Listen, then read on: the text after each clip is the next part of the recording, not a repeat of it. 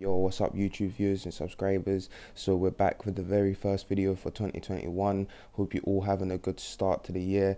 Um, I certainly am. Hope you all got positive mindsets, um, ready for the year, even though we're in this pandemic still and we've got a madness going on in this world. But um, yeah, positive thoughts, um, ready for the year most definitely.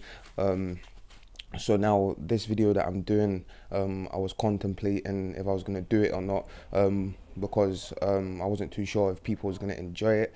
But um, this one here, I thought, yeah, it's definitely got to be done because um, a lot of people have the perception on prison guards now. Um, so the title of this uh, video is all about prison guards. Now, um, a lot of people has the perception of prison guards, you know, being like the police, um, you know, not to f with them, excuse my language, um, you know, all you know that kind of attitude towards them. Now, what I could say is. Um, this is why I wanted to do the video because my advice would be is is now um, I'm not saying that you know you have to be um, a grass a snitch um, that you have to be you know um, up there, backside or whatever you know. But um, what I'm gonna say is is that by getting on with the prison guards that you can get on with um, it comes to your best advantage because um, with me personally, everyone was in there asking me, "Oh, how is it you get all this done so quick?" Is because when it came to you know just manners, you know manners cost nothing. I called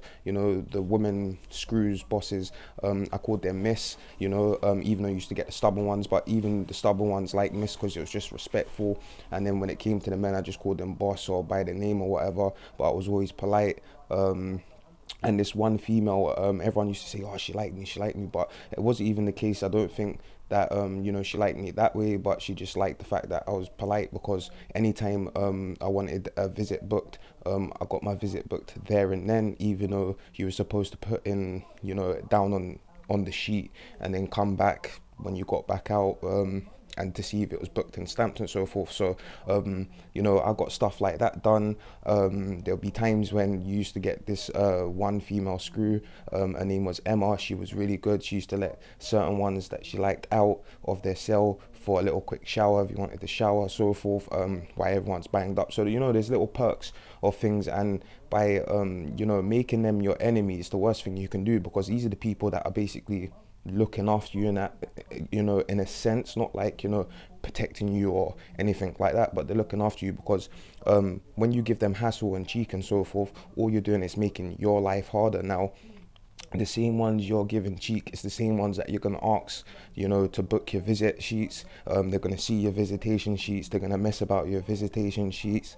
Um, what else? Yeah with your mail you're not going to receive certain mail um you know so you're just going to make your, your life definitely 10 times harder than what it needs to be. Now like i said you don't need to be a grass you don't need to be a snitch. Just be polite um and you know just try and get on their good their good sides because there's a lot of jobs worths in there um you know so yeah um I hope you all enjoyed this one and I've got the next one that's coming it's all about the roads. So um, please do stay locked and I'll catch you all on the next one and enjoy your day